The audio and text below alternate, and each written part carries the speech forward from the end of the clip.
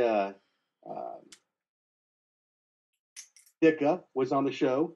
Ditka was there. Uh, uh, the quarterback from the Bills, who went to four Super Bowls and lost every one of them. Jim Kelly.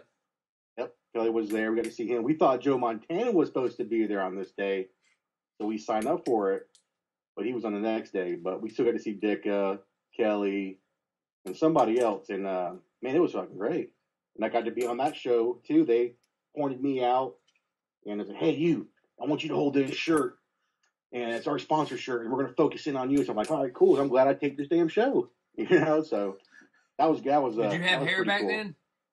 Uh, yes, I did. Oh, a thank lot of hair. God, because the glare would have fucking got him. Oh no no no! Dude, when I had my whenever we had our kid, whenever she turned four, is when I was like, oh boy, it's starting to get a little shady. you know? but no, we had. I had Yeah. that whole week. I had a blast Oh, because there great. was so much stuff to do in town. There was just NFL experience? so much stuff. Went to the NFL Spirits every day. oh, it was fucking great. I bought tickets, went every day. I met, I can't tell you how many players I met. And you got to Oh, yeah. sit there and talk to all of them was the fun part. They, they, they would sit there and talk. We met fucking Dan Marino in a Sam's Club, for God's sake, during that week. He was he was like hawking some pillows. Oh, you know who was at the landing too for um, the day of the uh, Best Damn Sports Show? Steven Jackson. Wow. Yeah. My buddy walked by, goes, "Hey, that's fucking Steven Jackson." I look, I go, "Hell yeah!" He looked, you know, you wouldn't recognize him because he was kind of he wasn't dressed all up, but you knew that was him. Yeah, they were was talking about- everywhere. Cedric the Entertainer was at the Budweiser plant. I went to the Budweiser plant, met Cedric the Entertainer. It was it was crazy. The whole city, you just had stuff to do. But the bad part is our city's so damn big that there was It's just- things all around town. So you cou- you you couldn't like go. I'm gonna go to this one and that one. It was like I'm gonna go to this one, and then I got to drive all the way to the other one to hopefully make it to this. And when you did the NFL experience, they had a thing where you could spin the wheel and uh, you win a prize. hmm And uh, I spun the wheel and I got to draw, um, reach in the box and pull out, and it was a football card in hard plastic. You know, you get one. Shit you not, I have a Ray Lewis rookie card in plastic pulled out of the fucking box. Nice. Get you some of that. And while I was there, you know, we get to do the, you know, you get to run the 40. Uh, they have a little 40 yard dash, the little, you know, you get your time and they got these little, uh, throw the, throw the football through the hoops and kick field goals and stuff. So we're doing that and they give me the ball. I'm about to chuck the ball, you know, and they give me one that's like blown up like a beach ball. And I'm like, I look, I'm like, you really want me to throw this, right? And we'll give you the smaller ball. I'm like, just give me the real ball. How about that? You know, so we did that, and uh, we, my dad was with me, so we're doing uh the forty. The old man goes, "I'll beat your ass in the 40. And at the time, dude, I'm had just lost a bunch of weight. I'm back in shape in the gym, and I'm weighing about 199. So dad, he's like, "I'll whoop your ass in the 40." I said, "You don't want none, old man." so we lined up on the 40, and I wearing jeans, little hoodie, and we're ready to roll. And these little three kids looked like they could have been in middle school. Blew the door of his office. you know, I'm like, what the hell? But as I'm crossing the line, I turn around backwards, and he's just chugging along, look like he needs a cigarette to get across the line. And I look at my time; I ran a four seven eight. Oh, man. He's still back there. you know, that was great, man. That that whole that whole week was fucking great, man. Yeah, I had a blast that is awesome. because I whooped my cousins at everything we did. Did you? And we went down there one day, and all of them bragging how far they could throw a football and everything. Everybody's bigger than me. I'm not. not no, I'm not big. And then we get up there, and I throw the ball 60 yards, and they're like, uh, "I'm like, what? Like it's called form." I was like, "None of y'all have it." oh, all right. But I was younger, younger then. younger and was a Back when, back when I could run. No, back when I could run. Coolest thing about that NFL experience, though, is Emmitt Smith retired that year. That's when Emmitt retired, and they had a thing right in the front where you came in. Well, what's the dude's name? Roy Firestone. Wasn't he the one that always used to make everybody cry during interviews and shit? It was always on TV. Anyway, he's he's yeah, it was Roy Firestone. He was doing a. I found out they were going to be doing an interview with Emmitt Smith, so I stood right there. I had on my Emmitt Smith jersey, had on my Emmitt Smith hit. So I'm about to come get you some on your Ray Lewis card. Uh, Oh, so they come, they do everything, and uh, Emmitt comes out, and he comes walking through the middle thing. It was right. It was the. This how tells you how long ago it was. It was the AOL experience, Wow. America Online experience. that's right. Yeah, So yeah, it, it was it was the yeah. AOL, AOL experience. So he comes walking out of there. He starts shaking hands with everybody and everything like that. And he's telling everybody, and everybody's telling him thank you. One black lady standing beside me, it, you thought she would die and go to heaven. And Emmitt's publicist happened to be standing kind of right behind us, and she heard us talking about Emmitt, and she heard me talking about how much Emmitt was the reason I was into football as much as I was. Mhm. And she she she talked to me. So they did the interview and everything like that. So afterwards, she comes up to me and she goes, she goes when they get when they're in, they're about to get done, and she goes when they get done, come walk over here with me. And I'm like, okay, who are you? She goes, I'm Emmitt's pub. I'm Emmitt's kind of. So she goes, when we get done, you just come walk over here with me. So I'm like, okay, no problem. So I'm like, as soon as they got done, Emmitt comes walking down and starts shaking hands with everybody. So they pull me off, kind of off to the side where they're about to go out and everything. So she comes over there and she she stops Emmitt and Emmitt stopped and they sitting there talking. She goes, "You're the reason this guy likes football." And she goes, "He's a huge Gator fan. He's he's arguably your biggest fan out here."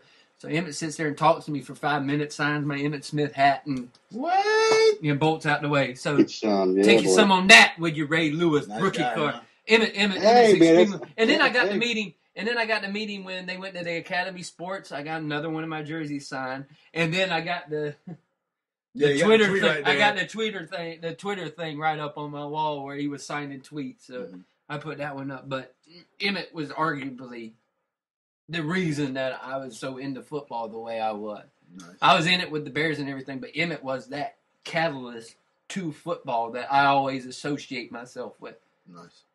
Yeah, my I want to say my favorite. So I agree with you, Kevin, with the um the Cardinals and the Steelers. I, I Such never a great game. the, that game. I to me, I'd sit there and it was just back and forth. I mean, the whole You're like, oh! Exactly. Then you're like, oh! it was just the Santonio Holmes show, and it was the Larry Fitzgerald show. It was uh, Ben Roethlisberger just going up and down. Kurt Warner was just amazing. Larry that game- Fitzgerald balled that game. That game was just great all around, and Kevin already speak of that game before, and I I agree with him wholeheartedly on that game.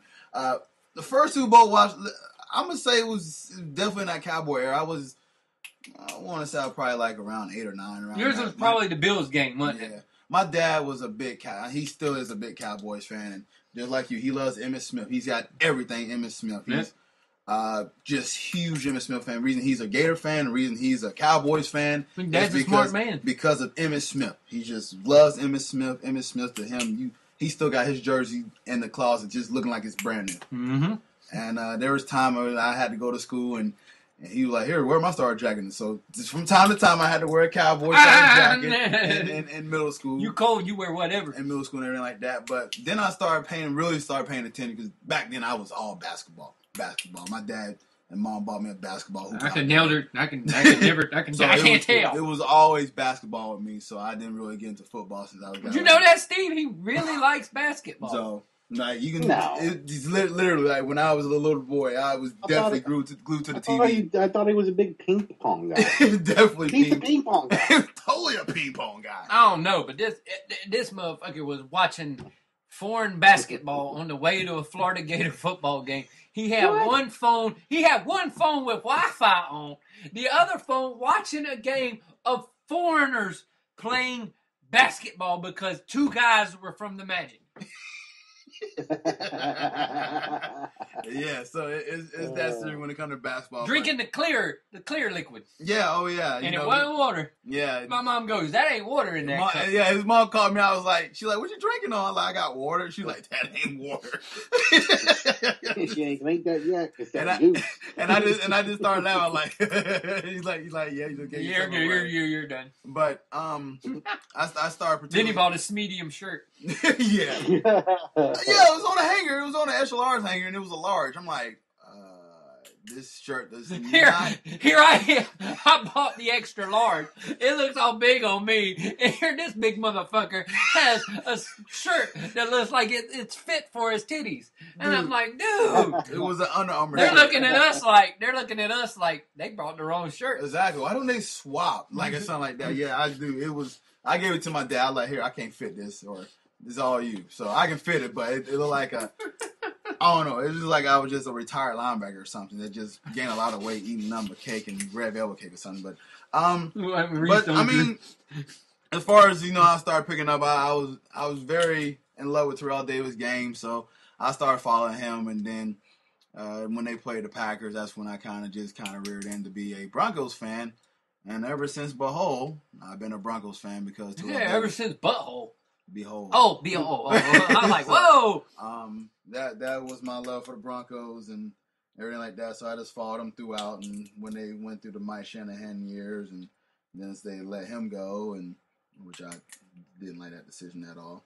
But um, just going through the Jake Plummer years and Jay Cutler years, and so many bad years. I can, Mhm. but it. it I don't want to hear shit about bad years. like I want to hear. So, um, the year that we was favored to win it, um, to to actually go it, the Steelers took that shine from us. It was 1996 when y'all were favored to go to the Super Bowl and win it all. Well, it was also 2009 too when we was favored too. Oh yeah, I know about that one, but I remember 1996 particularly. Oh, You don't remember it as much as well as I do, but I remember '96 particularly when y'all were Matron means to Brunell. go to the Super Bowl and the, and the Jaguars went up in the cold weather. And look, we Oh, have to go all the way back Hey, to hey. '96. That was some good times, man. Let me tell you something, Jack. Well, me and my dad, and my uncle watching that game. Holy, we were lit, son. No, Oh, we man, went was to the stadium. They opened the stadium for all the ga- all the playoff games. They opened the stadium.